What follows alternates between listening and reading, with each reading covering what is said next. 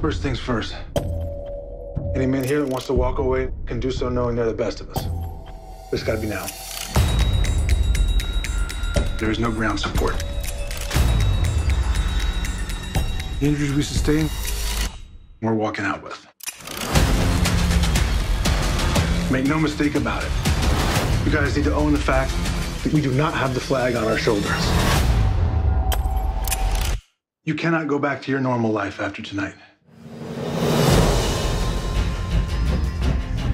Everything we've done for the last 17 years with nothing to show for it. You've been shot five times for your country, and you can't even afford to Send your kids to college. If we had accomplished half the things that we've accomplished in any other profession, we'd be set for life.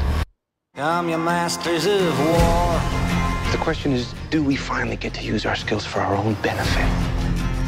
We're gonna get Gabriel Martin Lorea. He's got over $75 million in cash.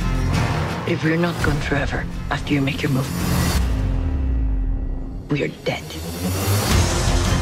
We need to hunt quickly. Is your money that You cannot say they will find us. good? Will it buy you forgiveness?